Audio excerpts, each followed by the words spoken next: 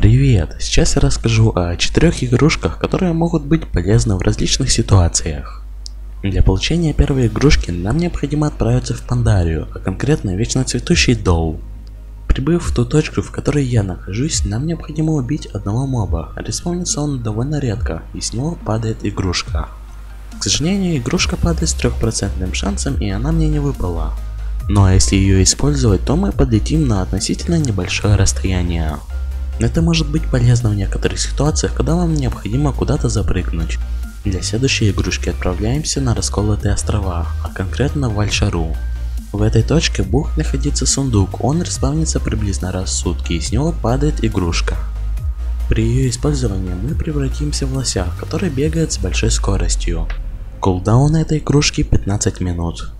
Следующая игрушка была добавлена ванили и все как в том дополнении имела низкий шанс дропа. Раньше дроп был 0,1, но появилось место, с которого можно фармить 6% шансом. Для этого отправляемся в Селиту с Калимдор.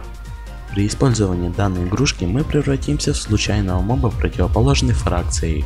Для следующей игрушки отправляемся в зону 51, за пределье. Там нам необходимо выполнить багнутую серию квестов, ссылку на которую я ставлю в описании. Выполняется она довольно быстро, но очень багнута. К сожалению, когда я ее выполнял, у меня багнулось и я не смог выполнить последний квест. Ну а по использованию данной игрушки мы подпрыгнем на большое расстояние и упадем с парашюта. Игрушка довольно прикольная, но главный ее минус заключается в том, что кулдаун у нее 5 часов, когда в среднем у предыдущих игрушек кулдаун 15 минут.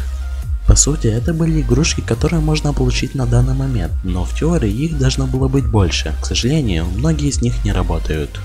По крайней мере на Ювове. Но все же есть одна игрушка, которая хоть и не работает, но имеет замечательные свойства. Вполне возможно то, что ее скоро починят.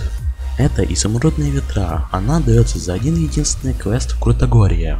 Прибыв туда, нам необходимо взять квест у Авианы, после чего нам необходимо с ней поговорить.